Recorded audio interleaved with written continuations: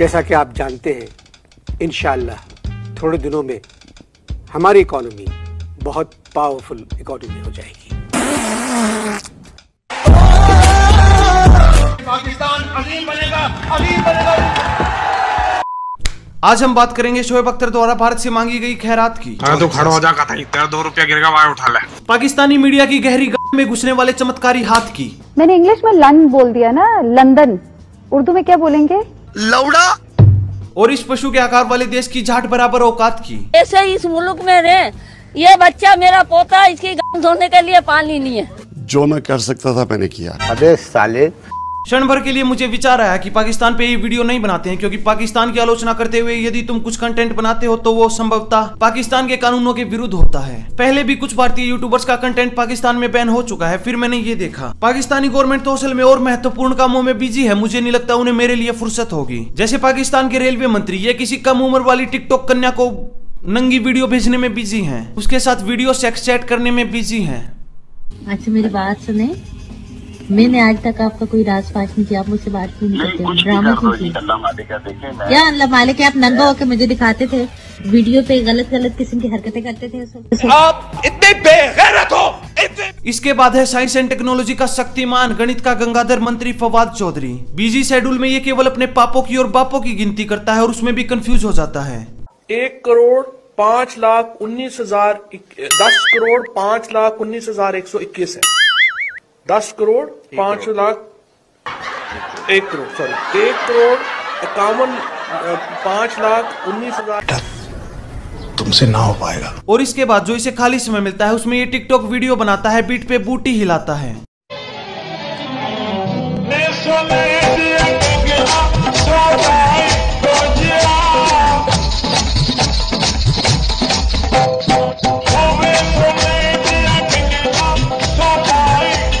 ये लड्डू असल में पाकिस्तान का साइंस एंड टेक्नोलॉजी मिनिस्टर है, जब भारत चंद्रयान भेजता है। तो इसकी गान में चूरने होने लगते हैं, ये भारत को गाली देने लगता है, परंतु इसके साइंस के बारे में, विज्ञान के बारे में विचार क्या है, जरा सुनो। हमारा ministry of science and technology में हमारा एक पॉइंट ऑफ़ व्यू है। हमारा पॉइंट ऑफ़ व्यू ये है कि आप इतने पापड़ नहीं बेलने की ज़रूरत। चाँद जो है, वो नज़र आ जाता है एग्जैक्टली exactly उसकी लोकेशन पता होती है। पाकिस्तान के विदेश मंत्रालय की केवल इतनी सी ड्यूटी रहती है कि तालिबान जैसे आतंकवादी संगठन इनकी सरकार के मुँह में प्रेम भरी दार मारते रहें, ताकि आतंकवाद के क्षेत्र में इनका देश दिन दुगनी रात चुगनी तरक्की कर सके। पाकिस्तान का विदेश मंत्रालय पहले भी विवादों के घेरे में रहा है।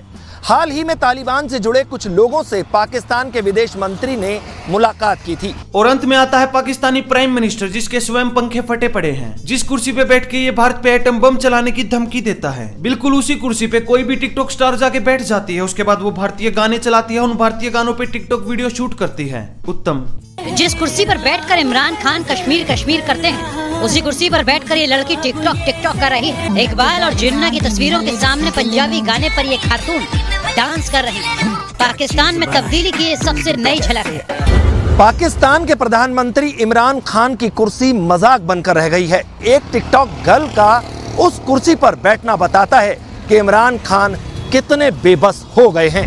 बड़ी दुविधा है। एटम बम बनाने वाला देश आज के दिन कोरोना वायरस से लड़ने के लिए वेंटिलेटर नहीं बना पा रहा। जो मुल्क एटम बम बना सके उसके लिए तो आसान था ना वेंटिलेटर बनाना कितना मुश्किल है। लेकिन बदकिस्मती से हमने ये कभी इसके ऊपर तवज्जो नहीं दी। मुँह से मूंगफली टूट नहीं रही है। गाँव से अखरोट टूटे आखिया। इमेजिन डेढ़ सौ मिलियन डॉलर पाकिस्तान को आ रहा हो या 2000 से 10000 वेंटिलेटर हिंदुस्तान से आ रहा हो। सबसे पहले भारत को गाली देने के लिए कश्मीर के नाम पे अपनी गांड पीटो फिर कोई समस्या आए तो भारत से भीख मांगो। मैं कहूँगा बिल्कुल इसी पॉलिसी का पालन करते हुए शोएब अख्तर ने भीख मांगी है भारत से दस हज़ार वेंटिलेटर्स की और बहुत सारे पैसे की। मैं चाह रहा हूँ पाकिस्तान हिंदुस्तान की सीरीज़ हो जाए। और ये अगर मैच हो जाता है और उसमें सोचिए फंड्स कितने आएँगे कंपनीज़ कितना पैसा इन्वेस्ट करेंगे इस पर टेलीवाइज हो रहा है ए टाइम पे ऊपर कितना कंपनीज़ खुल के लगाएँगी और इससे अल्लाह करे दो तीन सौ मिलियन डॉलर कमा लिया जाए। जो हमारे डेस्परेट नीड्स है इस वक्त। मैं डेस्परेट नीड की बात कर रहा हूँ desperate times desperate measures we in desperate needs of fund because we in desperate need इनका हमेशा यही लॉजिक रहता है समस्या कोई भी हो निवारण एक ही होगा। पाकिस्तान हिंदुस्तान की सीरीज़ हो जाए। क्या पाकिस्तानी आतंकवादी आपके मुंबई में घुसे हैं? क्या उन्होंने 26 ग्यारह जैसा आतंकवादी हमला किया है जिसमें कई सौ लोग मारे गए हैं? कोई बात नहीं हमारे पास आपकी सारी समस्याओं समस्याओं के समाधान है। पाकिस्तान और हिंदुस्तान दोनों क्रिकेट मैच खेलेंगे सब कुछ ठीक हो जाएगा। पाकिस्तानी और हिंदुस्तानी प्लेयर आपस में लोड़े से लोड़ा भिड़ाएँगे गर्मी पैदा करेंगे। इससे क्लोजनेस बढ़ेगी प्रेम बढ़ेगा। पाकिस्तान हिंदुस्तान की सीरीज़ हो जाए। मुझे समझने दो जिस देश में ऐसी महामारी के समय कोई 500 रुपए भी डोनेट कर दे तो टीवी एंकर इस तरह रोना शुरू कर देते हैं। ये देश भारत जैसी बड़ी इकोनॉमी के लिए फंड इकट्ठा करेगा। सत्यानाश। हेलो वालेकुम। सलाम कौन सा आप फरमा रहे कहाँ से? मैं अब्दुल गफार बात कर रहा हूँ नई कराची से। जी सर। अब्दुल गफार साहब न्यू कराची से। अच्छा जी जी। अब्दुल गफार साहब। जी जी। मैं पाँच सौ रूपए डोनेट करना चाह रहा हूँ। अरे माशाल्लाह पाँच बहुत उसका शुक्रिया। भी बता दीजिएगा मैं किस तरीके से आपके अकाउंट में डलवाऊँगी जरा अल्लाह ताला आपको बेहिसाब दे अब्दुल गफार साहब मैं पीसीआर की टीम से कहूँगी कि इनको प्लीज़ फैसिलिटेट करें तरीक़ेकार बताइए। ये वो जज्बा है जो हमने पैंसठ की जंग में देखा इकहत्तर की जंग में देखा। अपनी औकात में रह के बात कर पाकिस्तान का बाप प्रमोद दुबे बहुत बहुत शुक्रिया अब्दुल गफार। जीते रहिए। फैसल बहुत ज़्यादा जज्बाती हो रहे हैं। ये सब देशों के अपने तरीके हैं कोरोना वायरस से लड़ने के जहाँ अनेकों देश दवाई मांगने के लिए हिंदुस्तान आ रहे हैं। वहीं पाकिस्तान वाले लेजेंड सीधा कब्रिस्तान जा रहे हैं। कराची में कोरोना वायरस से जाम बहक होने वालों के लिए पहला कब्रिस्तान कायम कर दिया गया है। बिन कासिम टाउन के इलाके में 80 एकड़ पर मुश्तमिल ज़मीन अलॉट कर दी गई। कोरोना वायरस से जाम बहक अफराद को इस कब्रिस्तान में दफनाया जाएगा। मैंने ये चीज़ समझी है कि पाकिस्तान वाले लोग स्वैग में जीते हैं जब उन्हें अच्छे से पता है कि ये बीमारी चाइना से आई है। फिर भी इन लोगों को इस महामारी से लड़ने के लिए कुछ भी सामान चाहिए होता है तो वो भी ये चाइना से मंगवाते हैं जैसे की मास्क। पाकिस्तान के लिए एन मास्क लेकर खसूसी तैयारा चीन ऐसी रवाना हो गया है। केवल तुम्हारी खुशी के लिए मैं इसे चीन और पाकिस्तान का भाईचारा कह देता परंतु मुझे अच्छे से पता है कि ये रिश्ता कुछ और कहलाता है।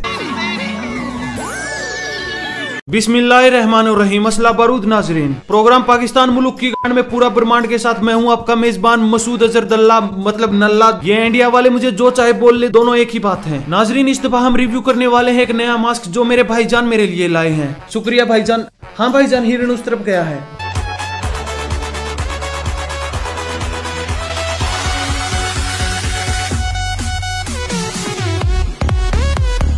तो ये मैं पहन के देखता हूँ। बड़ा ही मुलायम है। कुछ चिपचिपा शैम्पू जैसा जेल इसके अंदर है, नाजरीन, ज़रूर इनबिल्ट सैनिटाइजर होगा। या फिर अहम खबर से आपको आगाह करेंगे, चाइना ने चूना लगा दिया। एन नाइन्टी फाइव मास्क का कहकर सिंध हुकूमत को अंडरगारमेंट से बने मास्क दे दिए। जी हाँ नाजीन अब तक की सबसे अहम खबर से आपको आगाह करेंगे, चाइना ने चूना लगा दिया। एन नाइन्टी फाइव मास्क का कहकर सिंध हुकूमत को अंडरगारमेंट से बने मास्क दे दिए। तो आज के कार्यक्रम में बस इतना ही। अब जितने भी लोग ये वीडियो देख रहे हैं, उन सभी के लिए ये अनिवार्य है कि वो इस वीडियो को लाइक शेयर करने के बाद सीधा डिस्क्रिप्शन में दिए इंस्टाग्राम लिंक पे जाएँ। और वहाँ पे जाके मेरा इंस्टाग्राम अकाउंट फॉलो करें, ये अनिवार्य है। धन्यवाद।